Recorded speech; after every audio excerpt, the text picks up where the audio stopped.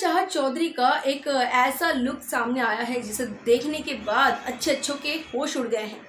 जी हाँ प्रियंका चाह चौधरी को पहली बार इस कलर में और इस अंदाज में लोगों को, लोगों ने जिस वजह से इनको देखा है, लोगों ने तरह तरह की बातें बनाना और तरह तरह के कमेंट्स के साथ इनका कमेंट सेक्शन भर चुके रहेंगे।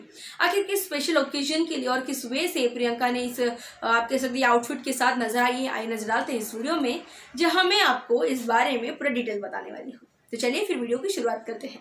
So hello and welcome to FIFA Fooz मैं हूँ आपके साथ आपके दोस्त और शो की होस्ट दीप्ति बिस्वाल आपको बता दो कि प्रियंका चाहत चौधरी टेलीविज़न की दुनिया में अभी वो एक्ट्रेस है जो हर घर में इन्हें ऐसा कोई नहीं होगा जो इनको जानता नहीं होगा।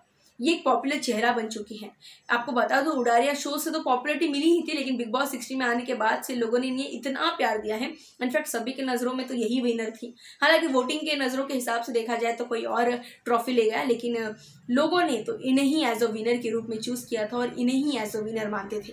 लेकिन साथ ही मैं आपको बता दूँ कि बिग बॉस के बाहर आने के बाद से बहुत सारी बातें हुई हैं, बहुत सारी चीज़ों के लिए इनका नाम लिया गया है, बहुत सारे ऑफर्स के लिए इनका नाम लिया गया है। लेकिन फ़िलहाल प्रियंका, ये सब चीज़ों से और ये सब ऑफ़र से खुद को दूर रखिए। कहीं कहीं ना कहीं ऐसा लग रहा है कि शाहरुख खान की अपकमिंग मूवी में कहीं ना कहीं प्रियंका नज़र आने वाली है उनके साथ। लेकिन इस बात की डिटेल ना शाहरुख की साइड से आई है, ना ही प्रियंका के साइड से आई है। लेकिन डाउट तो इस बात का लगाया जा रहा है।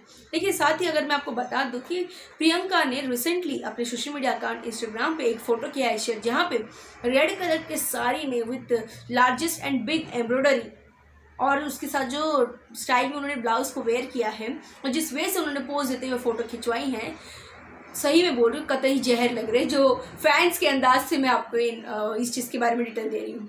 लोगों ने भर भर के इस चीज़ पे कमेंट किया, जहाँ बिग बॉस सिक्सटीन के कंटेस्टेंट टीना दत्ता ने यहाँ पे बोला है कि कुड़ी रेड में बहुत सोनी लगती है। तो वहीं बाकी यूज़र्स ने भी ये कमेंट करते हुए कहा है कि, नज़र उतार लो हमारे क्वीन को हेटर्स की नज़र लग जाएगी। ऐसे भी हेटर्स पीछे पड़े रहते हैं भला बुरा कहने के लिए। तो वहीं बहुत सारे लोगों ने अलग अलग इमोजीज के साथ अलग अलग वे से प्रियंका के इस वे को, प्रियंका के इस आउटफिट को काफ़ी ज़्यादा पसंद किया है। वैसे मैं आपको बता दूँ कि प्रियंका इस आउटफिट को इसलिए वेयर की थी क्योंकि फैब लुक मैगजीन के कवर फ़ोटो के लिए प्रियंका ने शूट करवाई थी और ये शूटिंग का ही ये फ़ोटो था जो प्रियंका ने सोशल मीडिया पे पोस्ट किया है और उसके बाद से लोगों ने इसे भर भर के प्यार दिया है। वैसे प्रियंका के ये लुक देखने के बाद आपका क्या रिएक्शन है, हमें कमेंट करके ज़रूर बताएगा। फ़िलहाल फिर बस इतना ही। टेलीविज़न और बॉलीवुड से जुड़े हर अपडेट्स के लिए आप हमें फॉलो करिए और देखते रहिए फिफा फूल्स